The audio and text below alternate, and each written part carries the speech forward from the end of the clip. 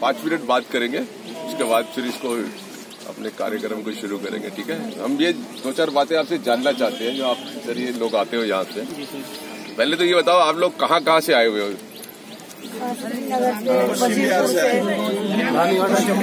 और मुरादाबाद? और? सागरपुर। बुलंदशहर। सागरपुर सर। सागरपुर तो दिल्ली में हुआ। वजीरपुर से दिल्ली के ही मोटे तौर पे क्या क्या प्रॉब्लम्स है मतलब जो क्या क्या बीमारी है मतलब जिनके लिए आए हो आप? कैंसर है सर। शुगर हार्ट प्रॉब्लम है। चाचा के कैंसर है कैंसर ज़्यादा आजकल जो है प्रॉब्लम ट्यूमर कैंसर है क्या कह रहे हो? नहीं कैंसर वैंसर क्या कह रहे हो? थोड़ी आवाज़ तेज करो। लीवर खराब है लीवर। अच्छा एक बात बताओ ये बताओ। एक बात ये बताओ जो आप लोग आप लोग इतनी जगहों से आते हैं खासकर दिल्ली से बाहर से आते हैं तो क्या दिल्ली के बाहर आपके इलाज का कोई इंतज़ाम नहीं है क्या? नहीं सर। हैं? जैसे जम्मू कश्मीर वाला आया हुआ है? हाँ जी, हाँ हाँ क्या क्या जम्मू कश्मीर में इलाज नहीं है? नहीं इलाज सर बहुत कम है वहाँ पे लेकिन रहते है जो और पैसा बहुत है पैसा कहाँ से लगाएँगे? लेना पैसा कहाँ से लगाएँगे? प्राइवेट वाले इतना पैसा मांगते हैं कहाँ से लाए? क्या मुरादाबाद वाले क्यों आते हैं? मुरादाबाद वाले की बात हैं हैं? में रेफर करते हैं सर क्या करते हैं नहीं तो क्यों रेफर करते हैं वहाँ पर इलाज नहीं है सर हैं? इलाज नहीं है आयुष्मान जो मोदी जी का उसका नहीं इस्तेमाल करते हो क्या आप लोग वो तो पता है आपको किसी का है नहीं किसी का नहीं है आयुष्मान बहुत कम लोगों इसमें से जितने खड़े हैं किसी का नहीं है पता भी है आप लोगों को उसके बारे में पता है सर मालूम था बट आयुष्मान नाम से कोशिश करा किसी ने आयुष्मान का फ़ायदा उठाने के लिए। नहीं हुआ ही नहीं हुआ ही? नहीं होता। नहीं होता सर नहीं होता?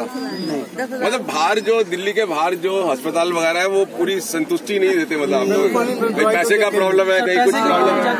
दवाई देते ही नहीं है। प्राइवेट में आप जा नहीं सकते हो हैं? जी। हैसियत नहीं है।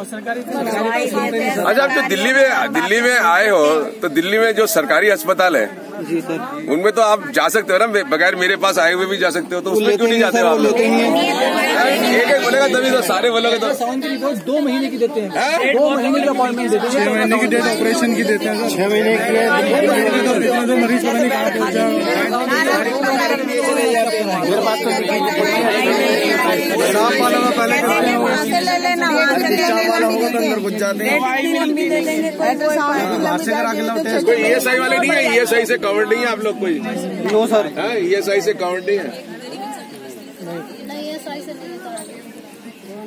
आप लोगों को पता है हमारे देश में जो है ना ये जो हेल्थ का सब्जेक्ट है विषय ये राज्य का विषय है। सेंट्रल गवर्नमेंट इस पे कानून भी नहीं बना सकती आज की तारीख में। और कोई राज्य में कोई कानून नहीं है जो आपको कोई अधिकार देता है। पता है आप लोगों को ये कि आप आप जो बीमार हो गए हो ना, इसके इलाज के लिए आपके पास कोई अधिकार नहीं है कि आप सरकार से कह सको कि मेरा इलाज कराओ। पता है आप आपको पूरे देश में किसी राज्य ने कानून नहीं बनाया आपका। है?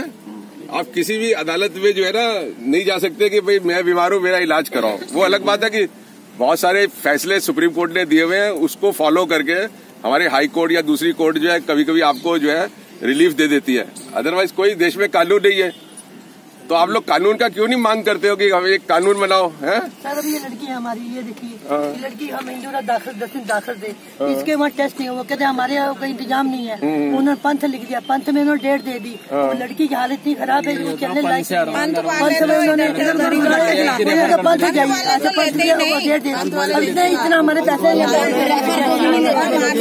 लड़की लड़की चल नहीं सकती प्रॉब्लम ये भी है ना जो लास्ट टाइम भी मैंने आप लोगों को बताया था अगर लास्ट टाइम कोई लोग थे यहाँ पे कि ये जो प्राइवेट हॉस्पिटल के जो बिस्तर है ये सीमित होते हैं। जितने बिस्तर होते हैं उसका दस परसेंट आप लोगों को गरीबों लोगों के लिए होता है ईडब्ल्यू के लिए।